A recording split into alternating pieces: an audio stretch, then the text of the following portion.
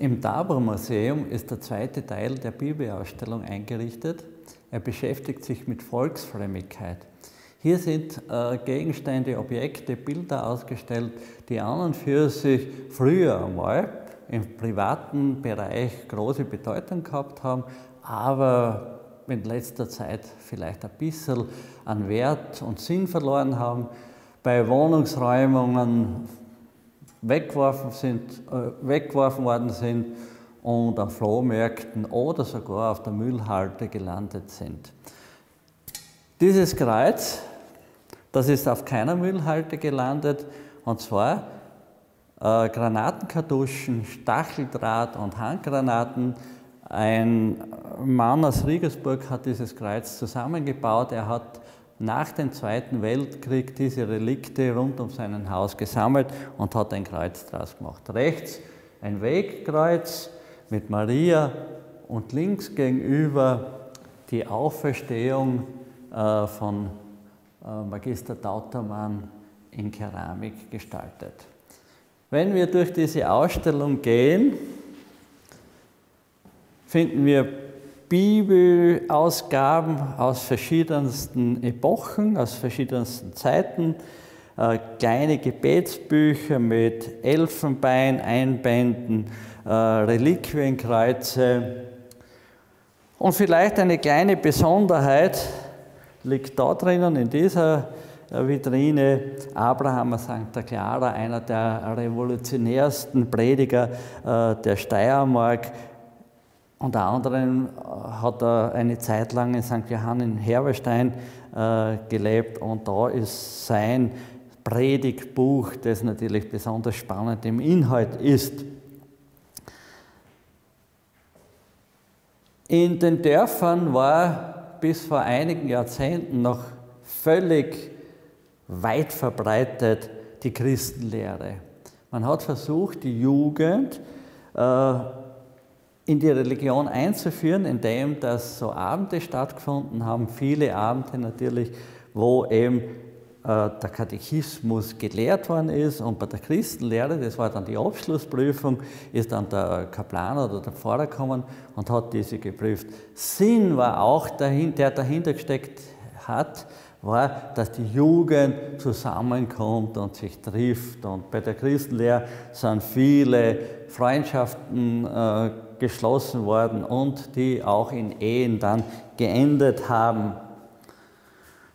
Die Gebetsbücher in unserer Gegend haben natürlich einen besonderen wichtigen Wert.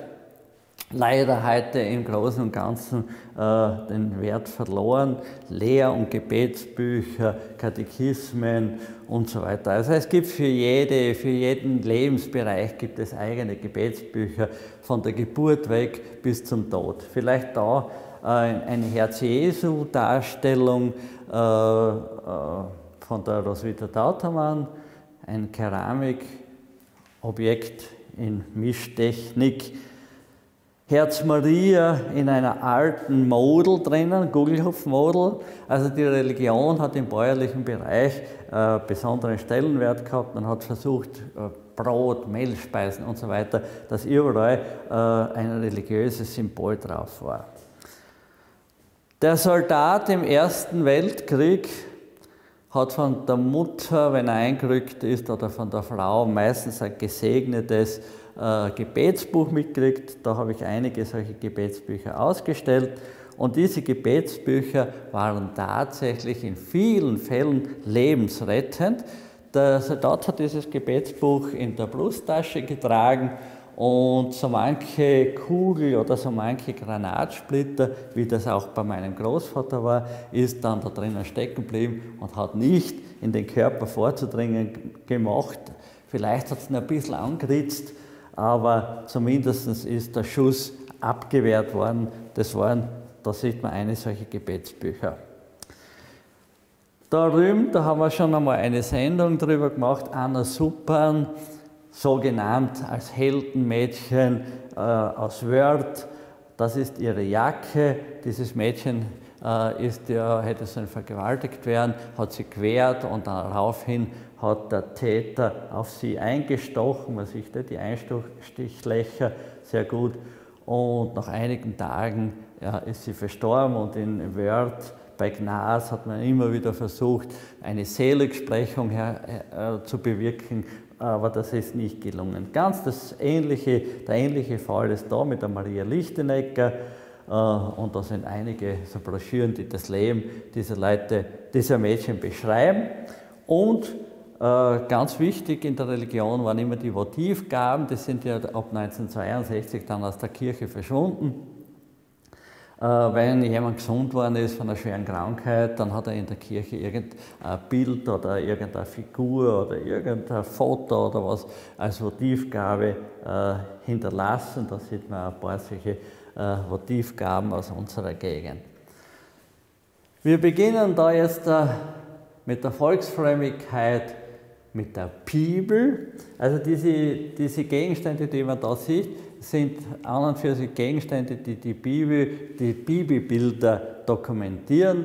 Mit der Erschaffung der Welt, Moses empfängt äh, die, die, die Gesetzestafel am Berg Sinai, äh, Abrahams Vision hinten zu sehen, ganz ein seltenes Hinterglasbild, sehr naiv gemalt von Roswitha Tautmann, äh, das Alte Testament, die Entstehung Adam und Eva. Und eine interessante Geschichte ist auch diese, dieses Relief. Moses bei der Durchquerung der Wüste hat Kundschafter ausgeschickt, um zu sehen, wie, wie ist die Umgebung. Und die sind mit riesigen Weintrauben zurückgekommen. Wir kommen dann schon zur Geburt Christi, verschiedene Geburtsdarstellungen. Äh, man weiß ja diese Geschichte, äh, zuerst, bei der Geburt zuerst sind ja die Hirten gekommen und erst später sind, so wie man da unten sieht auf diesem Relief, die heiligen drei Könige gekommen, die Sterndeuter und wie in der Bibel steht, die Magier, äh, heiligen drei Könige ist erst später dann so benannt worden. Dann gehen wir da weiter. Jesus wächst langs heran. Am achten Tag nach seiner Geburt ist er ja nach jüdischem Ritus beschnitten worden und 40 Tage nach seiner Geburt kam er in den Tempel.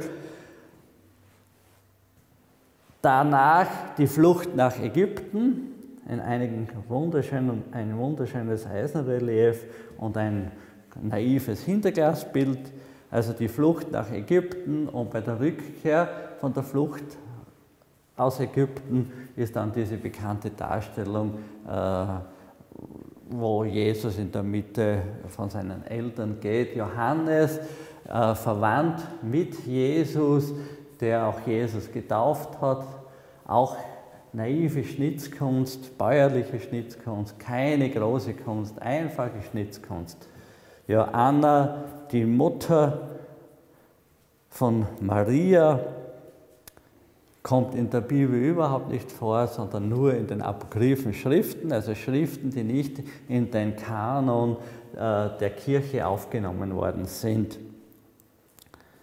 Machen wir noch einen Schritt weiter. Andenken aus Wallfahrten. Die, der erste Apostel von äh, Jesus war ja der Andreas, sieht man da so ein eigenartiges, eigenwilliges Bild. Es kommt zur Passion. Äh, Jesus wird zuerst ausgepeitscht, wird verhöhnt nach dem, nach dem letzten Abendmahl. Er ist ja von Judas verraten worden. Er, da gibt es tolle Szenen, äh, wo die Malerei zeigt, dass er bespuckt wird und dass er getreten wird und so weiter. Die Geduldflasche hier die mit den Marterwerkzeugen von, von Jesus. Geduldflasche deswegen, weil man viel Geduld hat braucht, äh, weil man durch den Flaschenhals diese ganzen äh, Bildwerke drinnen hat müssen aufbauen. Mit Pinzetten und mit Stäbchen ist das gegangen. Das sind so Arbeiten aus dem 19. Jahrhundert. Das waren so bäuerliche Winterarbeiten. Auch interessant, dieser, dieser Christus aus Tansania, also aus Afrika, eine bäuerliche Pietatdarstellung, Keramik, wahrscheinlich war das einmal auf einem Kachelofen oben, äh, kann ich nicht sagen, weil es nur dieser Teil da und dann kommt eh schon die Auferstehung und die Apokalypse. Ein bisschen wir, zeige ich da auch äh, äh, so Gerätschaften, die im Haushalt oder in Hauskapellen Verwendung fanden. Das sind eben diese Altarglocken, äh, Weihrauch, Weih, Weihrauchschiff, das, der Aspergil, also zum Spritzen, Weihwasser spritzen, dann die, die Kreuze, die man aus Palmzweigen herausgeschnitten hat und die man dann an die Haustür genagelt hat äh, und sich davon Schutz versprochen hat. Das Antlassei, das am grünen Donnerstag gefärbt wird, oder, der, oder am grünen Donnerstag sollte das von einem, einer Henne gelegt werden und dann wird noch manchmal gefärbt. Kirchenlieder und Osterratschen, wenn die Glocken äh, nach Wien fliegen, oder eine, die schwarze Kerze, schwarze Kerzen hat man zur Wetterabwehr verwendet. Das ist eine moderne Form eines Herrgottswinkels. Alles hat seinen Wandel, alles kriegt andere Formen. Rundum sehen wir äh, eine Bibelgeschichte nur mit Andachtsbildern dargestellt. Und da sind wir in dem Schulbereich. Die biblische Geschichte, diese Religionsbücher, die wir alle noch in der Schule gehabt haben, die heute ja alle ganz anders ausschauen, äh, mit diesen naiven Illustrationen, die, die dann jeder leicht verstehen kann. Gebetsbücher, da kann man, da muss man eine eigene Sendung drüber machen, eine lange überhaupt. Äh, Gebetsbücher gibt es in, in einer Vielfalt, die man gar nicht so richtig erklären kann. Jesus auf der, auf der Flucht, Schatzkammer, Himmelsschlüsseln, äh, Maria Zeller, äh, Gebetsbücher, Zweifelsbücher oder Jubiläumsgebetsbücher, alles, alles Mögliche. Ja, dann gehen wir in den Vorraum dieser Ausstellung. Interessant ist hier diese Darstellung, die Bibel, also der Bibelinhalt mit Mandelkalenderbildern, man kann den groben Umriss der Bibel sogar mit diesen Bildern nachvollziehen, aber besonders spannend ist diese Darstellung Christi Himmelfahrt am 10. Mai. Man sieht da, Christus fährt da auf, das ist nur sein Unterteil zu sehen, und da hinterlässt er zwei Fußspuren. Und das hat seinen tieferen Sinn, weil äh, Christus ist ja menschlich. Und nur ein Mensch kann Fußspuren hinterlassen und nicht ein Geist, weil oft ist das so gedeutet worden, ja, Christus muss ein Geist sein oder was. Christus ist menschlich und nur ein Mensch kann Fußspuren hinterlassen. Folgedessen hat man das so dargestellt. Diese Vitrine ist ausschließlich dem jüdischen Glauben gewidmet, also Altes Testament. Und da sind alle diese äh, äh, Bücher und Gegenstände drinnen, die eben für, diese, für, diesen, für den jüdischen Glauben von Bedeutung sind. Der Tanach, die hebräische Bibel da, der Talmud und ein Gebetbuch der Israeliten, ein Lehrbuch, ein Schulbuch für jüdische Kinder, wieder Gebetbuch und eine hebräische Bibel. Die Tora eben, die die aufgerollte Tore, also das ist mehr so, wie soll man sagen, für den Hausgebrauch nur. Und die letzte Vitrine, die wir haben, ist teilweise äh, Martin Luther gewidmet, also die Bibelübersetzung von Martin Luther. Und zwar ist es ein weitreichender Irrglaube, dass Martin Luther der Erste war, der die Bibel in deutscher Sprache übersetzt hat. Bereits 1466, also rund 50 Jahre vor Martin Luther, gab es die Mentelin-Bibel, die bereits in deutscher Sprache gedruckt worden ist. Also das ist also ein Irrtum, der lässt sich überhaupt nicht ausräumen, weil der ist schon so verwurzelt in den Köpfen, dass man sagt, er war der Erste, der äh, die Bibel ins Deutsche übersetzt hat. Ja, jetzt kommen wir endgültig zur letzten Vitrine die beschäftigt sich mit Kirchenmusik, Gesangsbuch, Textbuch, Missale Romanum und eben die Notenbeispiele für, für den Organisten. Zu dieser Ausstellung Bibelbilder ist auch dieses Buch erschienen. Bibelbilder in unseren Kirchen, 800 Jahre christliche Kunst in der Ost- und Südoststeiermark. Und da sind 1200 Abbildungen drinnen, äh, die zeigen, welche besonderen Kunstschätze in unseren Kirchen, öffentlichen Bauten, Museen der Ost- und Südoststeiermark zu besichtigen sind. Ja, und beide Ausstellungen in der Stadtpfarrkirche in Feldbach und im Taber hier äh, sind bis 26. Oktober zu besichtigen, bleiben aufgebaut. Der Eintritt ist äh, frei, also kostet nichts. Führungen müssen angemeldet werden und für Führungen ist ein kleiner Beitrag zu zahlen.